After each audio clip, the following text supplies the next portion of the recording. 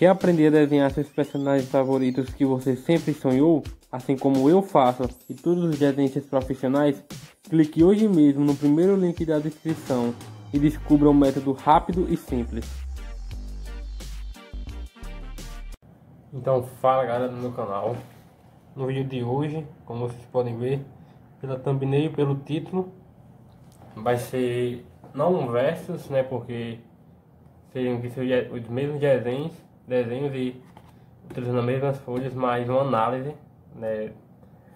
Já usei essa bastante da canção Bristol, 180 gramas, como vocês podem ver aqui, a gramatura dela. E ela é uma folha, quando você topa nela, vai perceber que ela é muito lisa, né? uma folha lisa mesmo. Já vi alguns youtubers dizendo que ela é né, específica para Copic, né, para essas outras para esse outro tipo de marcadores, né? É muito bom para marcadores. Já usei bastante essa, né? Como vocês podem ver, já está bastante usada. Eu que mais da metade. E só que eu não estava gostando muito, né? Dos resultados dos meus desenhos, né? Mesmo demorando muito tempo, me dedicando muito. Saía legal o resultado, mas não era aquilo que eu esperava, né? Até com os materiais profissionais que eu adquiri. Né? Que não é, são os tops dos tops, né? Mas são coleções boas que são a Prismacolor, né? Premiere, que é uma coleção muito boa, profissional. Não é. Né, não, tem muita gente que acha que ela bate de frente com né, a Polychromos, mas com certeza a Polychromos é melhor, a Carandrache, mas ela também é uma coleção profissional. E mesmo com essa coleção, né, eu não consegui ter um resultado tão profissional nos meus desenhos. Curtia e tudo mais, e eu queria mudar, né, queria procurar, então vi essa aqui por indicação né, no canal que eu gosto bastante, que é do Thiago, né? O nome dele é Thiago, me esqueci o, o sobrenome, mas Thiago Rodrigues. E ele indicou essa folha, né, que usou bastante tempo no seu canal, então eu quis fazer o teste. Né? Essa daqui eu ainda comprei mais barata, tem tirar o, tirando o frete, né? O frete dessa aqui foi mais barata, mas essa daqui eu adquiri ela por 50 reais né, no Mercado Livre, essa daqui eu adquiri na época era 60. Né, com frete não me lembro, mas sei que o frete dessa aqui tem que ser mais barato. E aqui eu vou mostrar né, alguns meus desenhos, fiz bastante, né, mas vou mostrar só os que eu queria analisar mesmo com essa folha, né, que eu... Né, esse é o Meliodas que eu fiz, né, ficou muito massa, porque eu misturei bastante as cores, já utilizei aqui os lápis da, da Prismacolor, né, então gostei bastante do resultado, só que, né, como pode perceber, não ficou muito homogênea, né, principalmente quando só aproxima a pintura da pele, não ficou como posso dizer, tão fisgada. É, é algo que eu percebi nessa folha, né? Que ela, né? Você não consegue, tipo, deixar ela homogênea, né? Tipo, aquele desenho bem liso. Quando você olha, você percebe que a camada não está perfeitamente, né? Bem distribuída, né? Como vocês podem perceber aqui, né? Não está bem... O degradê para fazer nela também achei muito difícil, né? Botar cores, né, sobrepor cores por cima. Também foi uma dificuldade que eu achei. Nesse desenho, né, eu apertei bastante os lápis, foi onde deu um resultado melhor, principalmente na parte da sombra, mas estava muito claro, né, algumas pessoas até me deram a dica. Os outros desenhos que eu queria mostrar, né, é exatamente esse que eu estou fazendo agora, no realismo, né, no semi-realismo, desenho de personagens de anime, é, quem está acompanhando o canal já, já viu, né, alguns desses desenhos, aqui o Naruto semi-realista, a Hinata, e curti bastante né, o resultado, mas como é que como são vocês? Né, quando você sobrepõe demais sobre essa folha muitos lápis, principalmente aqui, vocês podem perceber que ela fica muito falha. Né? Então, algo, algo que eu percebi que não consegui. Usei bastante tempo, bastante menos tempo essa folha aqui da, da Bristol, né, canção Bristol, mas não conseguia né, deixar homogênea. Tentei, usei muitos lápis, né, Super Soft, é, Colap, Jafab, misturei eles, dá um resultado legal, como vocês podem ver, mas, né, no meu ponto de vista, deixa a desejar, como vocês podem perceber, né, e tudo mais. E esse aqui eu usei pela primeira vez essa folha, né, então é até um pouco errado nessa né, comparação, porque eu ainda estou aprendendo a usar ela, né, diferente dessa aqui que eu já usei todas as formas, mas eu quero só que vocês possam perceber, né, no meu primeiro desenho, que foi um teste, que é esse Meliodas semi-realista, né, eu pude perceber o quanto que essa folha ela é boa, de verdade, ela é muito boa, né? Eu achei incrível como ela deixou a pintura homogênea, né? Como é, ela deixa o tom sobressair, né? Você, mesmo que você passe um tom e depois você passe outro escuro por cima, ele vai né, pegar aquele tom mais escuro. Então, assim, esse desenho eu gostei demais, né? Ele tem a pegada semi-realista desses outros mesmos desenhos.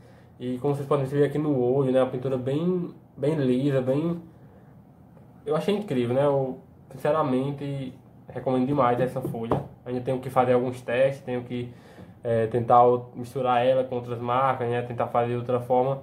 Mas vocês podem perceber a qualidade do desenho, né? Então, quero comparar principalmente esse aqui semi-realista, né? Que é uma outra pegada, né? Como o de anime, né? Que você aperta bastante na sombra. Mas em semi-realismo você tem que... No realista, semi-realista tem que fazer por camada, né? Ficar algo assim homogêneo, algo que né, não fique tão artificial. Né? Até no cabelo vocês podem perceber, né? Eu tentei fazer os fios, ficou bastante né, bem, bem realista o cabelo.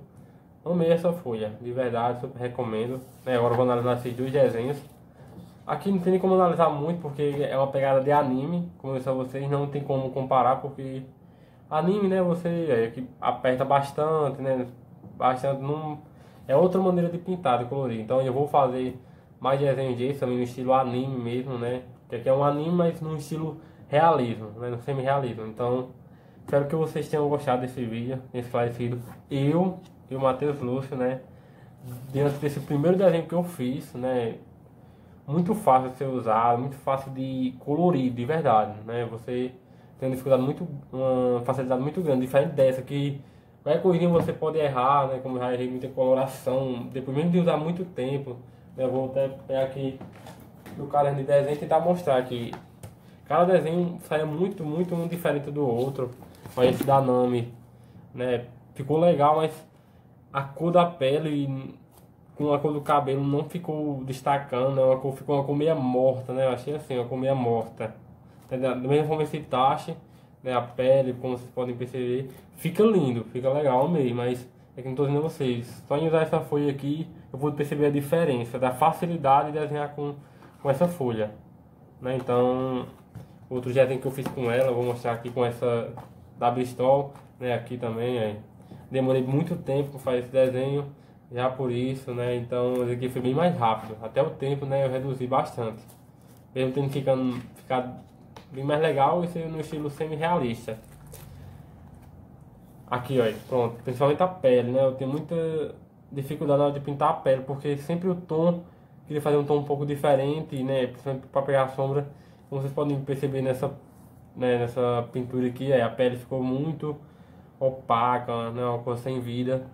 Né? Aqui eu tive que apertar bastante nesse do Midoriya, né? E por aí vai. Então assim, né? Para fazer cabelo também não é muito fácil, como vocês podem perceber mesmo. Tentei fazer um estilo realista, né? Que mesmo assim não, não deu tanto, né? Porque realmente é muito difícil de sobrepor as cores depois que elas já estão colocadas.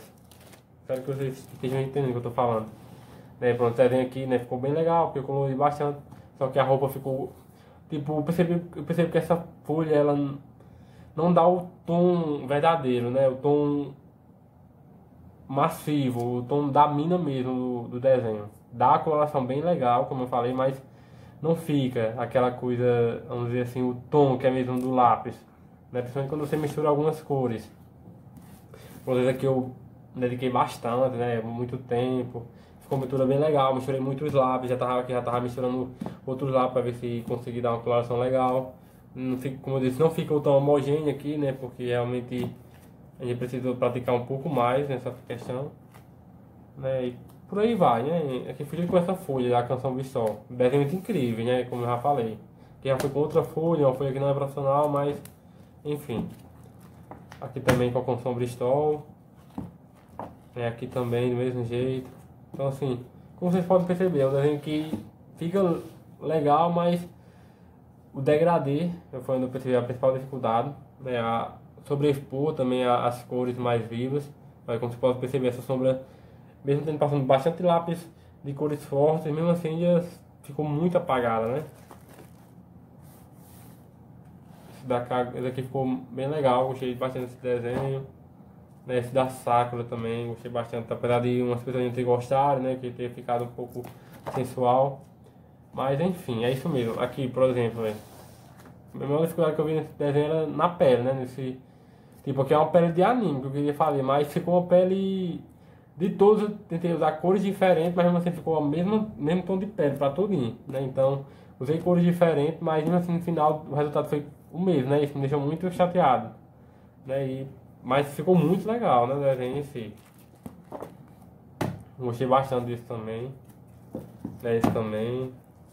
Enfim, ele é uma, é uma folha incrível, né? Que tem resultados muito bons. Mas é aquilo que eu, falei para vocês. Pela minha primeira experiência né, com essa folha, desenho, um desenho semi-realista, eu recomendo essa.